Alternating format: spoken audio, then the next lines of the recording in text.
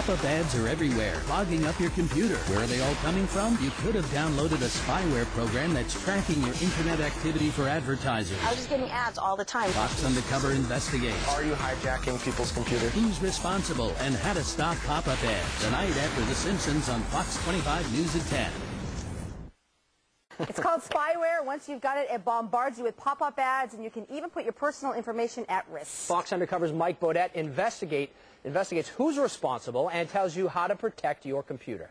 They're invasive programs installed on your computer without your knowledge. Spyware is the latest problem plaguing Internet users. Even Microsoft's own Bill Gates admits he's been a victim. We tracked down the local man behind a spyware company who's accused of hijacking people's computers.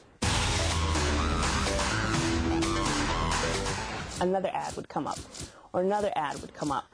So then you were cl clicking all windows to, to shut this and get there, and after a while you're just like, okay, I'm done. Miranda Flanders runs an internet-based business from her home in Nashua, New Hampshire. It nearly ground to a halt when her computer became infected with what she says is a nasty spyware program called Medaddle. It just started happening more and more. All of a sudden, my computer just started slowing down. I couldn't really use my regular programs, and on top of that, I couldn't use the internet. Spyware is the biggest problem that computer users have faced in the past decade. Robert Siciliano is a personal security expert. He says many spyware programs are like viruses, installed on your computer without your permission. They track your every move, every website you visit, and use it to bombard you with advertising. He says the worst spyware can record all your personal data by logging your keystrokes when you type in account numbers and passwords. All this data is sent out to hackers and spammers and also advertisers and marketers. What happens is these spyware programs multiply like rabbits. And then they send out this data to the internet and they incorporate more spyware into your PC. And it essentially overwhelms your desktop. Flanders estimates she spent 100 hours trying to remove Medaddle from her computer. How frustrating was this? Annoying to the part to the point that I became very colorful with my language when it came to talking to my computer. This is my job. You know, I need the computer, I need the internet. And without those two things, I might as well just, you know, hang up my hat and call it a day. And Flanders is not alone. We found dozens of people on the internet complaining about Medaddle. One person called it their worst internet nightmare. Most had no idea how Medaddle got on their computer. It's just like being stuck on a rotary. You know, you're trying to get off, you just keep going around and around and around. And I was just uh, to the point where I was getting headaches just because I was getting so stressed out. Fox Undercover tracked down the company that caused Miranda Flanders so much grief. It's a Massachusetts corporation which recently relocated here to South Florida.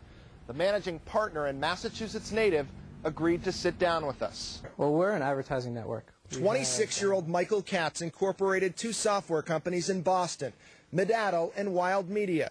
But last year he moved his operation into this office building in Boca Raton.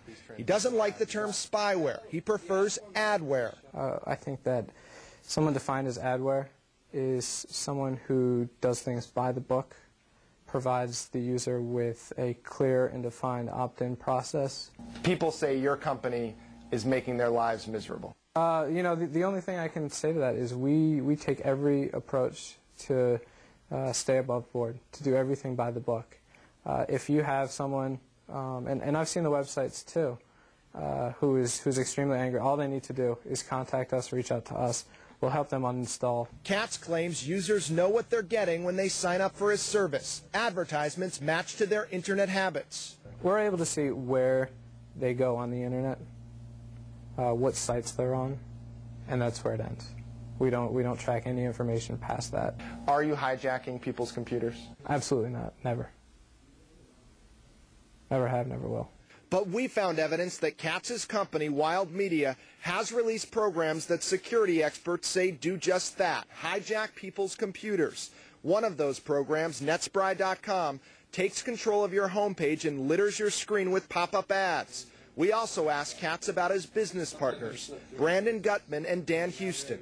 Dan Houston is he's he's not a he's not a business partner of mine. I mean, I, I know who my business partners are, and, and Dan Houston's not one of them. Actually, he is one of Katz's business partners. We showed him incorporation papers that list Houston, Gutman, and Katz as founding members of Wild Media. Katz's partners were behind another spyware company called PSD Tools in Cambridge. That company wreaked havoc on thousands of America Online users last year with what a company official called a particularly slimy piece of adware, forcing AOL lawyers to send the company a cease and desist letter. Siciliano says many spyware companies have one objective. Their motivation is to make a name for themselves and to pave a way to get to the point where corporate America and advertisers will start to pay attention to them. They're trying to sell themselves. So it's all about money. It's all about money. We showed Flanders our interview with Katz when he claims people can easily remove the Medaddle software from their computers.